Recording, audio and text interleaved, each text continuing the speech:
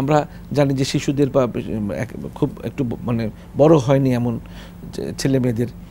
একটা গুলিয়ান বেরি বলে একটা, সিনড্রোম বলে একটা রোগ আছে ভাইরাস জনিত বেশ আক্রান্ত হয়। বাংলাদেশে কিন্তু একেবারে অপ্রচলিত না রোগটা।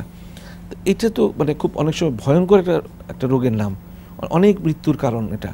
এই ব্যাপারটা একটু শুনতে চাই। অবশ্যই বাচ্চাদের যেটা আপনি, আমরা ইতিপূর্বে সিপি বললাম, অনেক কিছু হয়। পাশাপাশি যেটা আপনি বলছেন যে ভাইরাল জনিত ইনফেকশন থেকে হতে পারে। এটা অনেকগুলা সমস্যা হয় গুলিয়ান বেরি ছাড়াও যেমন আমাদের দেশে এখন নেই বললেই চলে পোলিওমাইলাইটিস পোলিও থেকেও কিন্তু আমরা বাংলাদেশ হয়ে গেছে, হ্যাঁ, হয়ে মোটামুটি হয়ে গিয়েছে তা থেকেও কিন্তু প্যারালাইসিস হতে পারে। তো এই দুইটাও হচ্ছে যেহেতু ইনফেকশন পাশাপাশি আরও অন্যান্য ইনফেকশনও কিন্তু হয়। যেমন আপনার স্পাইনাল যদি কোনো ইনফেকশন হয় তা থেকে পা প্যারালাইসিস হয়ে যেতে পারে যেটা আমরা প্যারাপ্লেজিয়া বলে থাকি। অনেক সময় কোয়াড্রি প্যারাসিস হয়ে যেতে পারে। কোনো ইনজুরি থেকে হতে গাছে উঠেছে গাছে থেকে পড়ে পড়ে গিয়ে হয়ে ইনজুরি হয়ে হতে পারে বাচ্চারা খেলাধুলা করতে গেলে ঘাড়ে আঘাত পেলে তা থেকে হতে পারে। তা থেকেও কিন্তু প্যারালাইসিস বা পক্ষাঘাতগ্রস্ত হতে পারে।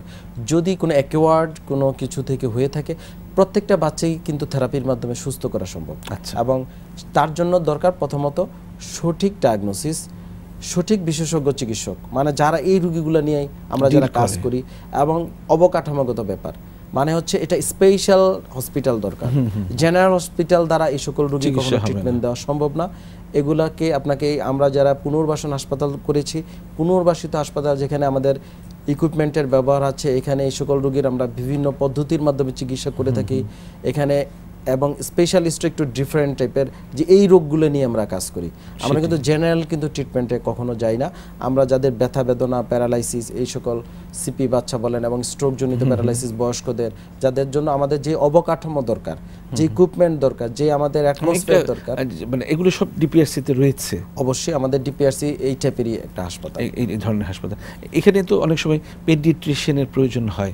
পেডিট্রিশিয়ানও কি ডিপিআরসি হসপিটাল আমাদের আমাদের টোটালি গ্রুপার যেটা আমরা বলি রিহ্যাবিলিটেশন টিম রিহ্যাবিলিটেশন টিমে আমাদের আমরা মেইনলি ফিজিওথেরাপিস্টের ভূমিকা মেইনলি পাশাপাশি অন্যান্য স্পেশালিস্ট যারা আছেন neurologist neurosurgeon paediatrician general medicine specialist. Chest specialist এদের সমন্বয়ে আমরা কাজ করে থাকি।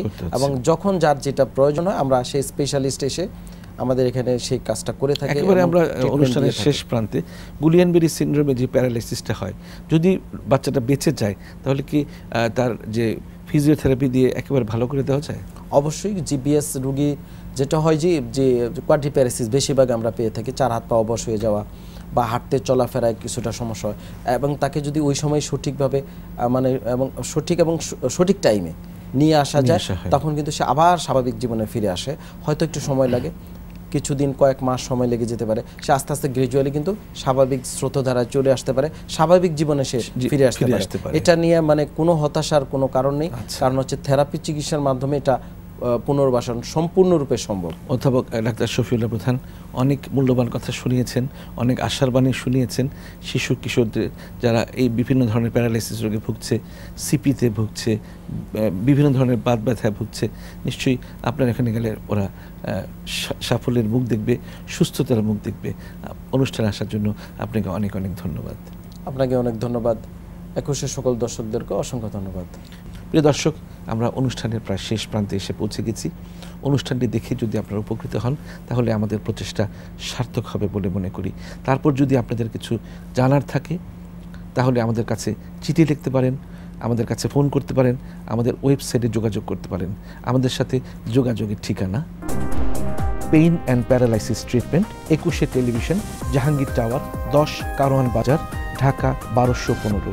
Phone zero one seven 32 200697 01716 306913. Website www.dprcbd.com.